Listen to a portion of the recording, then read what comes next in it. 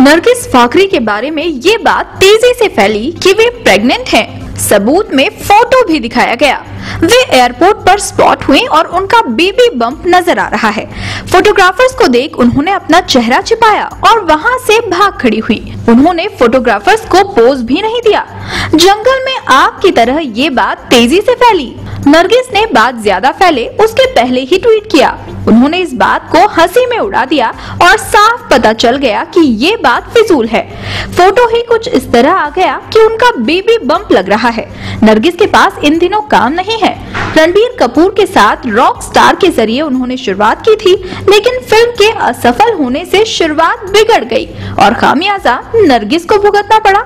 उन्होंने कुछ फ़िल्में की, लेकिन दमदार तरीके से बॉलीवुड में उपस्थिति दर्ज नहीं करा पाई।